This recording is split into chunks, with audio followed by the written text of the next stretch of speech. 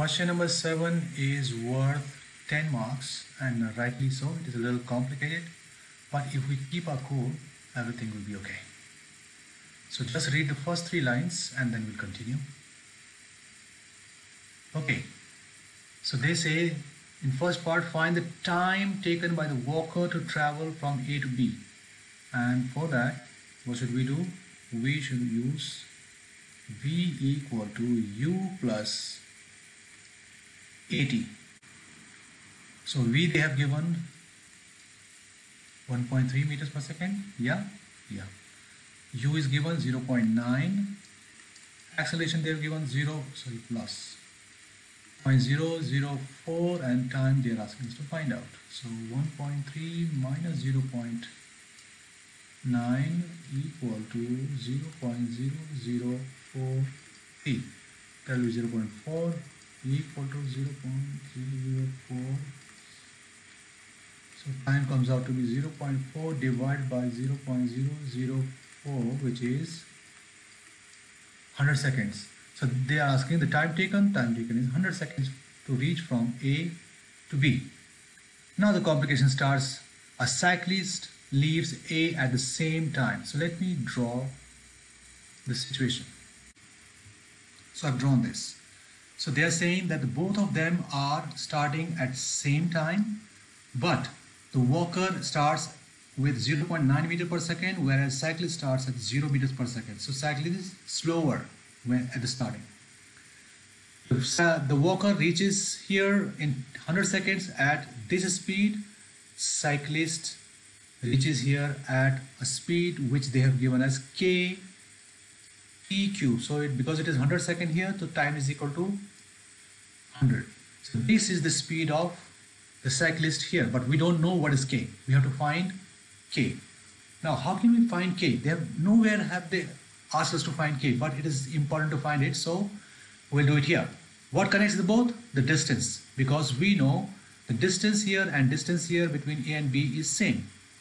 So we will find the distance and read them we know it is s equal to ut plus half at square.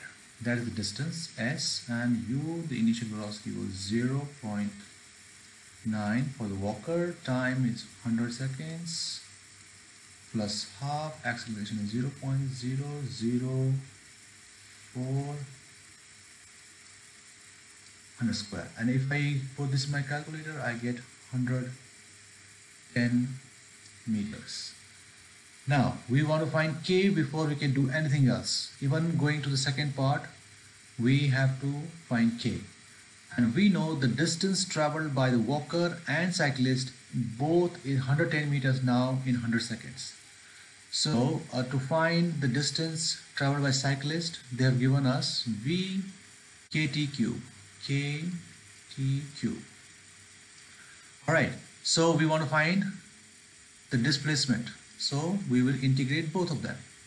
So if I do this with respect to t and this with respect to t, it gives me distance or displacement. And this one will give me kt4 over 4 plus c. Now we have to find c, then only we can find k. And I can start from here. When the time was 0, they started, the distance traveled by them was 0. And that I can put here. 0 equal to k 0 to the power 4 over 4 plus c. So since this is 0, this is 0, that gives us c equal to 0. So c is insignificant in this one. So the equation becomes d equal to k to the power 4 over 4. Yeah. Now we want to find k. And for that we can substitute this situation that after 100 met 110 meters time was 100 seconds.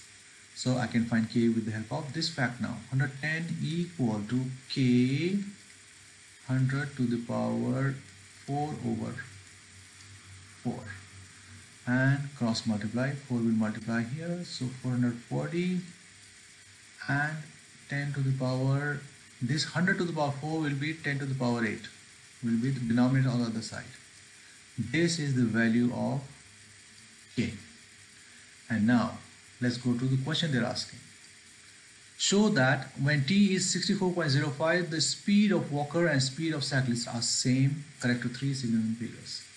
So yes, their speeds are equal. So let's write a question. The speed of walker after 64.05 after t seconds let's say. So v equal to u plus at u is 0.9 a is 0.04 and time is unknown. Yes? V velocity of cyclist. The formula is given kt cube yeah? So k we know now it is 100 no 440 over 10 to the power 8 and t cube t is t and both of them have same speed. Yes? So we will equate the right side of both. So 0 0.9 plus 0 0.004 sorry I didn't write one zero here. T equal to 440 over t to the power sorry 10 to the power 8 t cube. From here there are two ways. Substitute 64.05. That's what they're saying. 64.05. Yes. Substitute in place of 64.05 in both sides. So let me do both ways, okay? 0.9 plus 0.004 64.05 this must be equal to 440 over 10 to the power 8 and 64.05 cube. That I'm showing that this will work. And both of them give me 1.1562 1.1562 and I've shown that yes at 64.05 seconds their velocities are equal. Second way is that I make an equation out of this. So let me make it minus 8 so alright.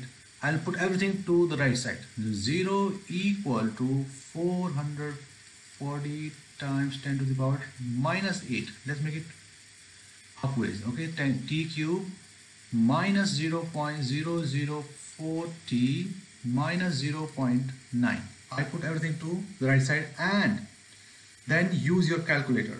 By using the calculator, you can put uh, this equal to A in your calculator, this equal to B and this equal to, rather this is C and this is D and there is no B. B equal to 0 you can put. When you put uh, this for a solution of cubic equation. There will be a b c and d and it will give you an answer of 64.05 definitely. Let's go to the third part. Find the cyclist acceleration at an instant. She passes through b. So now we want to find acceleration. So we know this is the equation for velocity. So if i differentiate. These two parts will get acceleration. So acceleration will be k rather 3 will come in front kt square right? And let's put it here. So acceleration will be 3 times k we know is 440 divided by 10 to the power 8 and time when it passes through B is 100 seconds. Put this in a calculator, you will get 0.132 meters per second square.